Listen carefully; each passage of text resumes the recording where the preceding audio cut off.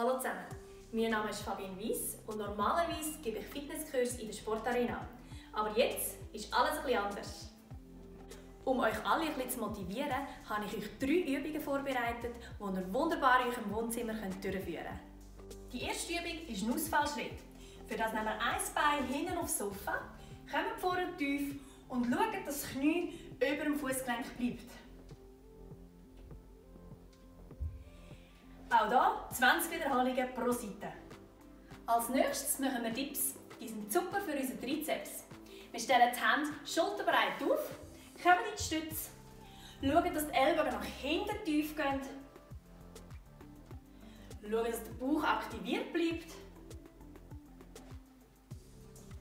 und auch hier 20 Wiederholungen. Die letzte Übung ist super für den ganzen Körper. Für das brauchen wir ganz normale Kochelümpen. Wir kommen hoch in die Stütze, setzen die Hände unter die Schultern, laufen zurück, behalten den Kopf in der Verlängerung der Wirbelsäule und dann rechts, links die Hände verschieben.